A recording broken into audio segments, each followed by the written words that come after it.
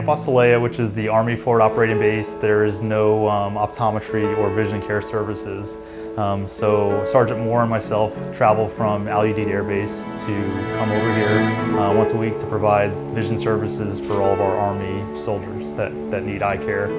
At uh, Al we don't have the ability to grind lenses. We don't have a lens fabrication lab. So basically, we can do all the ordering and all the testing and everything back at the base. But here is actually kind of where the rubber hits the road as far as making the glasses. They can grind them, they can edge them. They're basically cutting the lenses, taking the prescription blanks, putting them into the frames that the people choose, and then delivering them back to us or to the members here.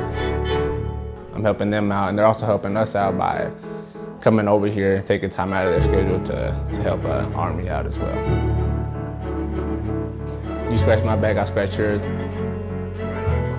They give everybody their prescriptions on Fridays, but Monday through Thursday, they're constantly getting orders. I make all those orders. You know, life, limb, and eyesight, we handle the eyesight, um, and that could be very, very mission critical.